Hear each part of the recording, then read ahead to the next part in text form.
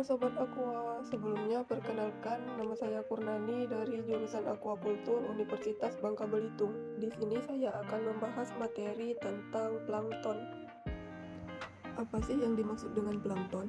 Plankton adalah organisme baik hewan maupun tumbuhan yang hidupnya melayang di perairan karena dengan kemampuan geraknya yang sangat terbatas sehingga menyebabkan organisme tersebut selalu terbawa arus.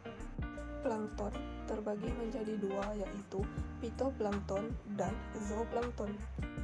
Yang pertama adalah pitoplankton.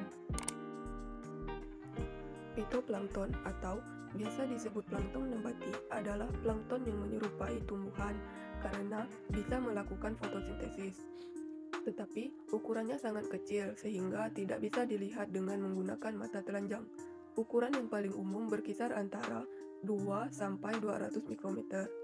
Fitoplankton umumnya merupakan individu bersel tunggal, tetapi ada juga yang membentuk rantai.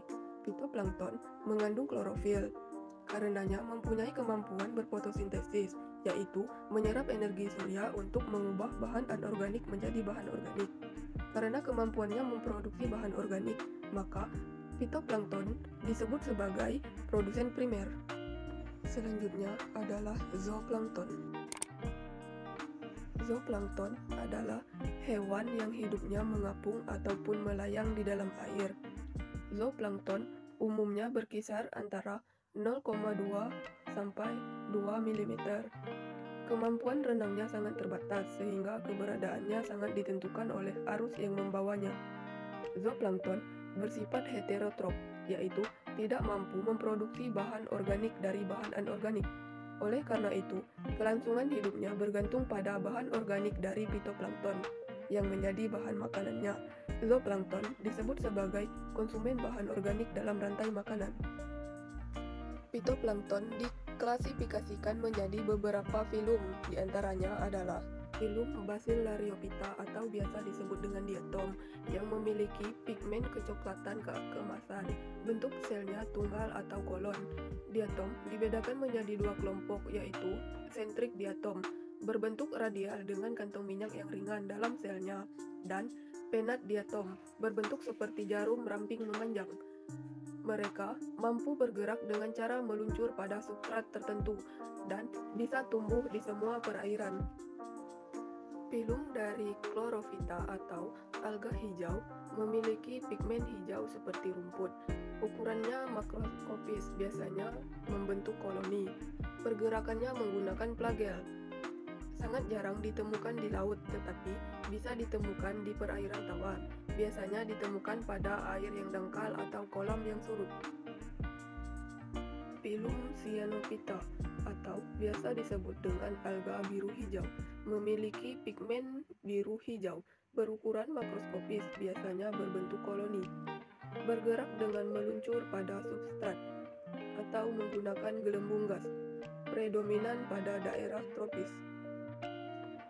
Filum dinophyta atau disebut dengan dinoflagellata memiliki pigmen berwarna merah kecoklatan, berukuran mikroskopis, berbentuk sel tunggal, umumnya bergerak menggunakan flagel, serta bisa tumbuh di semua perairan, namun predominan di pantai. Pilum Chrysophyta memiliki ciri-ciri pigmen kecoklatan keemasan karena banyak mengandung karotenoid. Bentuk selnya tunggal atau membentuk koloni. Beberapa jenis menggunakan flagel untuk bergerak. Salah satunya adalah spesies Cetrit Trachtus, berbentuk silindris memanjang.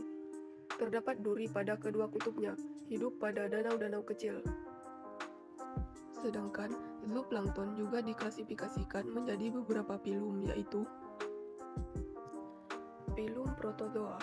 Yang paling banyak adalah jenis Nocticula miliaris yang memiliki flagel dan berdiameter tubuh sekitar 200 sampai 1200 mikrometer sedangkan jenis ciliata bisa hidup bebas di air tawar dan hanya beberapa golongan yang hidup di air laut.